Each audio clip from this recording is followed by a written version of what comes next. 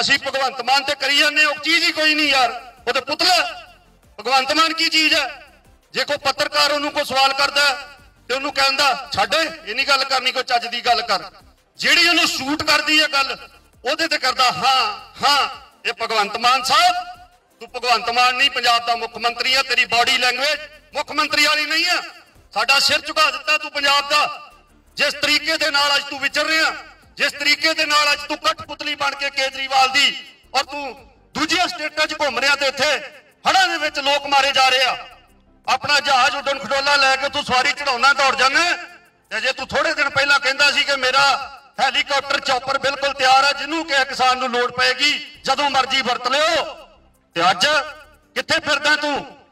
ਅੱਜ ਪੰਜਾਬ ਦੇ ਨਾਲ ਮਜ਼ਾਕ ਕਰ ਰਿਹਾ ਭਗਵੰਤ ਮਾਨ ਸਿੰਘ। ਡਰ ਤੇਰੇ ਤੋਂ ਕੋਈ ਡਰਨ ਡਰਨ ਵਾਲਾ ਨਹੀਂ ਆ। ਐਵੇਂ ਭੁਲੇਖਾਂ ਲਏ, ਤਾਕਤਾਂ ਆਉਂਦੀਆਂ ਜਾਂਦੀਆਂ ਰਹਿੰਦੀਆਂ। ਇਹੋ ਹੀ ਸਰਪੰਚ, ਇਹੋ ਹੀ ਪੰਜਾਬ ਦੇ ਲੋਕ ਗਿੱਲੀਆਂ ਪਾਥੀਆਂ ਨਾਲ ਸਵਾਗਤ ਕਰਦੇ ਆ। ਜਦੋਂ ਕੋਈ ਗਲਤ ਰਾਏ ਪੈ ਜੇ ਤੇ ਯਾਦ ਰੱਖਿਓ। ਘੱਟੋ ਘੱਟ ਮੈਂ ਇੰਨੀ ਗੱਲ ਬੋਕਰ ਵਾਲਿਆਂ ਨੂੰ ਕਹਿ ਦਿੰਦਾ, ਯਾਦ ਰੱਖਿਓ, ਉਹ ਦਿਨ ਦੂਰ ਨਹੀਂ ਆ ਕਿ ਪਾਥੀਆਂ ਤੁਹਾਡੀਆਂ ਵੱਜਣੀਆਂ ਤੈਅ ਜੇ, ਕਿਉਂਕਿ ਜਿਹੋ ਜਿਹਾ ਬਦਲਾਅ ਆਇਆ, ਇਹ ਪਹਿਲੀ ਵਾਰ ਵੇਖਿਆ ਔਰ ਬਦਕਿਸਮਤੀ ਕਹਿ ਲੋ ਇਹ ਤੇ ਕਿਸੇ ਪੰਡਿਤ ਨੂੰ ਜਾਂ ਕਿਸੇ ਗੁਰਦੁਆਰੇ ਜਾ ਕੇ ਮੱਥਾ ਟੇਕਣਾ ਪੈਣਾ, ਕਿ ਜਦੋਂ ਵੀ ਇਹ ਸਰਕਾਰ ਆਈ ਆ ਅਸੀਂ ਆਪਣੀ ਹੋਸ਼ 'ਚ ਪਹਿਲੀ ਵਾਰ ਵੇਖਿਆ ਕਿ ਮੀਂਹ ਵੀ ਨਹੀਂ ਪੈਂਦਾ ਤੇ ਪੰਜਾਬ ਹੜ੍ਹਾਂ ਨਾਲ ਰੁੜਦਾ ਜਾਂਦਾ ਇਹਦੀ ਅਸਲੀ ਜੜ ਕੀ ਹੈ? ਇਹਦੀ ਅਸਲੀ ਜੜ ਕੋਈ ਇਹਨਾਂ ਨੇ ਡਰੇਨਾਂ ਦੀ ਸਮਾਂ ਰਹਿੰਦਿਆਂ ਸਫਾਈਆਂ ਨਹੀਂ ਕਰਾਈਆਂ। ਇਹਨਾਂ ਨੇ ਬਿਲਕੁਲ ਧਿਆਨ ਨਹੀਂ ਦਿੱਤਾ ਕਿਉਂਕਿ ਇਹਨਾਂ ਦਾ ਕੋਈ ਇਸ ਪੱਖੇ ਕੋਈ ਧਿਆਨ ਹੀ ਨਹੀਂ ਸੀ। ਇਹਨਾਂ ਦਾ ਧਿਆਨ ਸੀ ਕਿ ਅਸੀਂ ਤਾਕਤ ਚ ਅਸੀਂ ਤਾਕਤ ਦੇ ਗਰੂਰ ਦੇ ਵਿੱਚ ਸਰਕਾਰ ਚਲਾਉਣੀ ਹੈ, ਨਾ ਕਿ ਲੋਕਾਂ ਵਾਸਤੇ ਸਰਕਾਰ ਚਲਾਉਣੀ ਹੈ।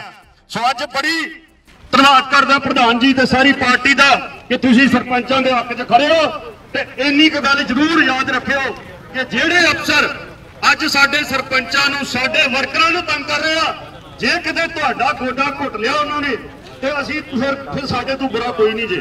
ਕਿਉਂਕਿ, ਨਹੀਂ ਠੀਕ ਆ ਫਿਰ, ਅੱਜ ਜੇ ਕਿਸੇ ਅਫਸਰ ਦੀ ਕਿਸੇ ਨਾਲ ਬਣਦੀ ਆ, ਇਹਦਾ ਮਤਲਬ ਇਹ ਥੋੜਾ ਕਿ ਬਾਕੀ 100 ਬੰਦੇ ਨੂੰ ਰਗੜਿਆ ਫਿਰੇ। ਇਹ ਅਫਸਰ ਕੀ ਚੀਜ਼ ਨੇ? ਅਸੀਂ ਵੀ ਇਹਨਾਂ ਅਫਸਰਾਂ ਨਾਲ 5 ਸਾਲ ਵਿਚਰੇ ਆ। ਅਸੀਂ ਅਫਸਰਾਂ ਨੂੰ ਰਿਗਾਰਡ ਦਿੱਤਾ, ਜਿੱਥੇ ਕਿਸੇ ਸਰਪੰਚ ਦਾ ਕੋਈ ਉਹਨੇ ਦਬਲ ਕੀਤਾ, ਜੋ ਮਰਜ਼ੀ ਕਰੋ, ਅਸੀਂ ਤੁਹਾਡੇ ਨਾਲ ਹੈ। ਪਰ ਇਹ ਕੀ ਗੱਲ ਹੋਈ ਕਿ ਇਹਨੇ ਜੀ ਫਲਾਣੇ ਦੀ ਮਦਦ ਕਰਤੀ, ਗੁਨਾਹ ਨਹੀਂ ਕਰਤਾ। ਔਰ ਮੈਂ ਵਾਰਨਿੰਗ ਵੀ ਦੇਣੀ ਚਾਹੁੰਦਾ, ਸਰਕਾਰ ਨੂੰ ਤੇ ਅਫਸਰਾਂ ਨੂੰ ਜਿਹੜੀ ਮੇਰੀ ਗੱਲ ਸੁਣਦੇ ਹੋਣ। ਤੇ ਬਹੁਤਾ ਭਲੇਖਾ ਭਲੂਖਾ ਨਾ ਮਨ ਚ ਰੱਖਿਓ ਇਹ ਕੁਰਸੀਆਂ ਆਉਂਦੀਆਂ ਜਾਂਦੀਆਂ ਰਹਿੰਦੀਆਂ। ਔਰ ਤਾਕਤ ਵੀ ਜਿਹੜੀ ਆ ਹਮੇਸ਼ਾ ਇਕੱਲੇ ਨਾਲ ਨਹੀਂ ਬਚੀ ਰਹਿੰਦੀ। ਸੋ ਤਕੜੇ ਹੋ ਕੇ ਅਸੀਂ ਸਰਪੰਚਾਂ ਦੇ ਨਾਲ ਪੰਜਾਬ ਦੇ ਹਰ ਇੱਕ ਉਸ ਲੋਕ ਦੇ ਨਾਲ ਹੈ। ਜਿਹਦੇ ਖਿਲਾਫ ਇਹ ਸਰਕਾਰ ਧੱਕਾ ਕਰੂਗੀ ਅਸੀਂ ਡਟ ਕੇ ਭਗਵੰਤ ਮਾਨ ਦਾ ਵਿਰੋਧ ਕਰਾਂਗੇ।